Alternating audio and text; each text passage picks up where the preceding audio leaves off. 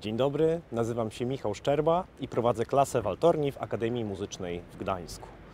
Oprócz tego jestem pierwszym waltornistą Polskiej Filharmonii Bałtyckiej, solistą oraz kameralistą. Serdecznie zachęcam Was do zdawania do mojej klasy waltorni, w której panuje bardzo ciepła i swobodna atmosfera. Oprócz mnie na Akademię przyjeżdżają e, wybitni wykładowcy z całego świata, tacy jak Timothy Jones z London Symphony Orchestra, e, Luca Benucci, e, Jacek Muzyk czy na przykład Martin Owen. Tę listę chcemy stopniowo poszerzać. Gdy pandemia odpuści, mam wiele planów razem z katedrą, aby zapraszać jeszcze więcej wybitnych muzyków na kursy mistrzowskie.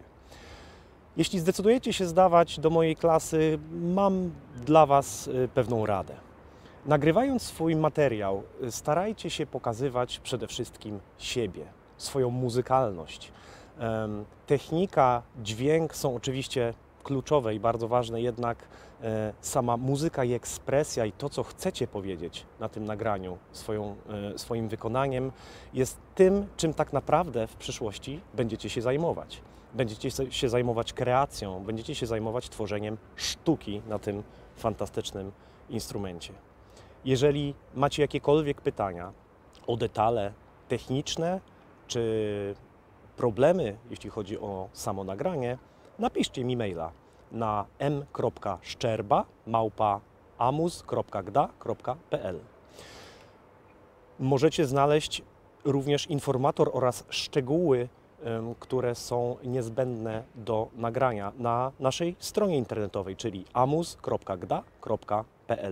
Tam w zakładce menu znajdziecie em, odnośnik rekrutacja. Trzeba dosyć intensywnie przewinąć w dół, aby do tego dojść. Klikacie i tam znajduje, znajdujecie interesujące Was rzeczy i aspekty techniczne nagrania, a także konkretne wymagania. Serdecznie Was pozdrawiam i do zobaczenia w Gdańsku.